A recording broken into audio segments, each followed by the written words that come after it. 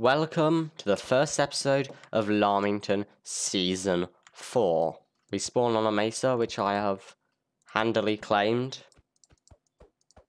But yeah, I suppose let's just get into it. So we gotta do the first Minecraft thing that every pro Minecrafter does, and that's break a tree with your bare hands. Which I would not recommend trying in real life because it will not break the tree, it'll break your hands.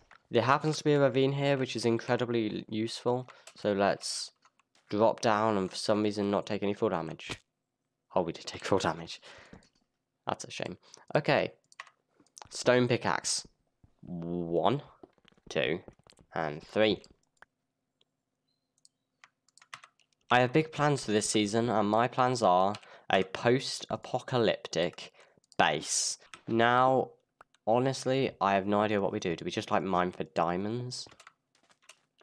What's our plan?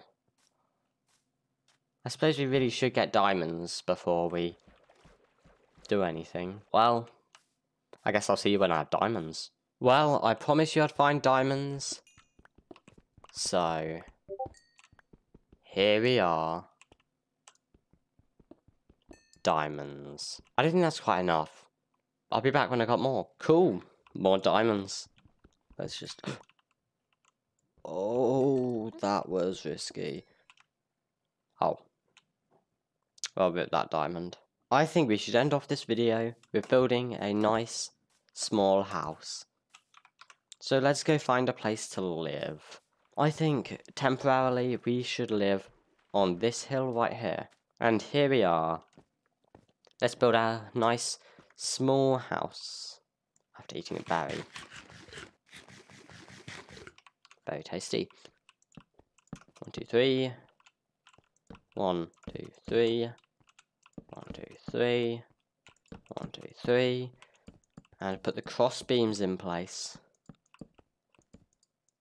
Well, to be honest, that it doesn't look that bad. From the inside, that is. Door. Hmm, maybe it should be inset. Like this. And we need somewhere to store other doors, so I should put them down there. Well, I think that's not too bad. It looks kind of decent. Oh, well, that's a bit close. There we go. Hello again. This is a pretty decent house. Well, I'll see you in the next episode. Don't forget to hit the like and subscribe if you haven't already. Goodbye.